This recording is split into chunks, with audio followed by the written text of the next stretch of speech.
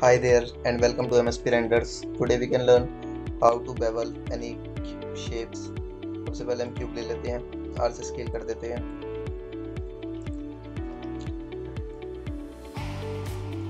Bevel करने के लिए एजेस सेलेक्ट करते हैं। एजेस के लिए राइट क्लिक एजेस शिफ्ट के साथ इसे प्रेस करते हैं। इसको भी लेते हैं शिफ्ट के साथ, इसे भी शिफ्ट के साथ।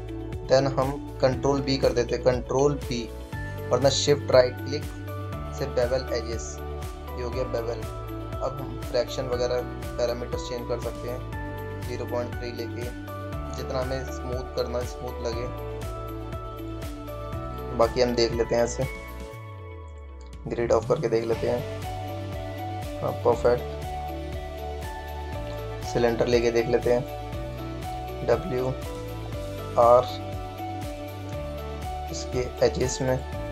कंट्रोल बी कंट्रोल बी से बेवल होता है, वरना अदरवाइज़ यहाँ पर मैश आप इसमें जाओगे एडिट मैश में यहाँ पर भी बेवल है। यहाँ से बेवल कर देंगे 0.5 और ये एट ले लेते हैं। सी